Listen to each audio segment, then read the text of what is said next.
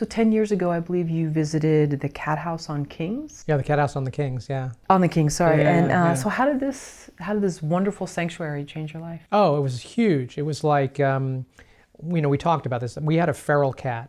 We, we've always had feral cats come to our house because we have lots of cats. And a feral cat, a wild cat, will, will just sense that cat people live there. And a feral cat obviously cannot be pet or touched uh, or anything. They're, they're wild animals. But we've done this over the years and we've fed feral cats. So, uh, you know, I guess it's a little bit over 10 years ago, we were moving from our apartment. And just as we were about to move, a feral cat showed up. And it was like, feed me. And I, we were like, yes, of course we'll feed you. But we're moving. And it, we were faced suddenly with this prospect of like, what are we going to do? This, this, this animal is like dependent upon us now, but we're moving.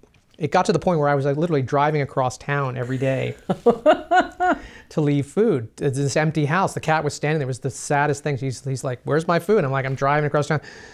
We, I can't keep this up. I can't expect the new tenants to, to take care of him or whatever. So I started looking into rescues and looking into um, that whole world. And it's a, you know, again, I became educated. I was like, wow, there's just, there's just tons of kill shelters. If you bring an animal to a regular shelter, likely they will be killed. Certainly a feral who can never be adopted, rarely. Um, what do you do with a feral cat? And so after a lot of research, I found this one place, which I'd never heard of, the Cat House on the Kings, which was this one woman's massive property up near Fresno that she had turned in this ranch style multi-acre property into this sanctuary an adoption center where she had, you know, almost a thousand animals that were totally cared for. It wasn't an, it wasn't a hoarder. It was like an operation. Sure. Mm-hmm. And she was like, yeah, you know, we actually have a feral, you know, s- section, and if you can catch him, you know, you can bring him here.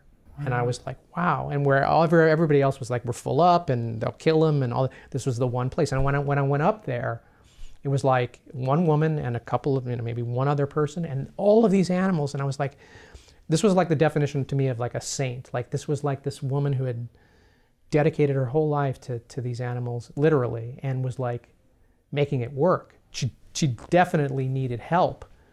But, she, and I, I said to myself, my God, well, what, what can I do in exchange for this? You know, you saved this cat's life and these thousands of other dogs and cats. So I decided to make this YouTube video. I said, I'll come back and I'll do a portrait of you and the place, a couple minutes, and you know, we'll put it on YouTube. And this is when YouTube was sort of new, you know, and and it just we just as luck would have it, there were enough cat people out there that it started to go viral, and people really saw that this was a this beautiful soul that was doing something so unique, and she started to get donations, and it started to get more well known. And now, you know, 10, 13 years later, it's a, it's a, it's considered, you know, it's a very well-known institution, you know, around the world. People come from all over the world to visit this place and support, support it. So it's a big part of search and rescue story. Um, the ending of the whole movie actually happens at the cat house. It actually takes place at the cat house.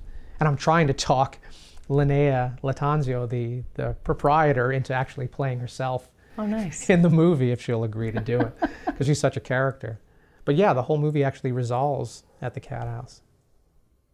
Have you thought about what would have happened if you had moved one week earlier and never met that? Yeah, no, I hadn't really thought of that. It's been such a, you know, my wife has said, you know, it's the most important film you ever made was that film for the cat house because, you know, talking about direct action, that film because it went viral, because I made it, because it exists and it reached people, that that institution, that sanctuary received much needed donations that saved a lot more animals. And so in terms of doing something that's valuable, truly valuable, that little film, you know, when I think about it, you know, is is, you know, definitely up there as being an important movie of mine just because it helped it ultimately helped a lot of animals.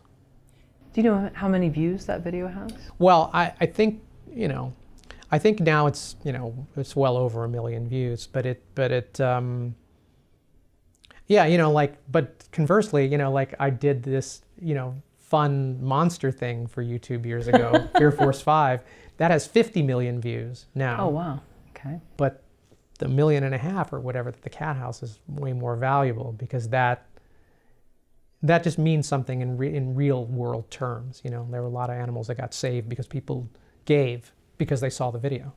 So, yeah, I'm I don't I don't know what would have happened. Certainly, search and rescue wouldn't have evolved the way it did because my there's a there's a cat component and there's a feral component and a rescue component uh, to the story that is that is a, a thread in this crime story. Um, that is the direct result of my experience with with the Cat House on the Kings and why I feel it's appropriate to end the movie there. Even though there's gangsters and assassins and pornographers and all this other stuff in the movie, it ultimately ends at the Cat House, you know, which is like the sweetest place on earth.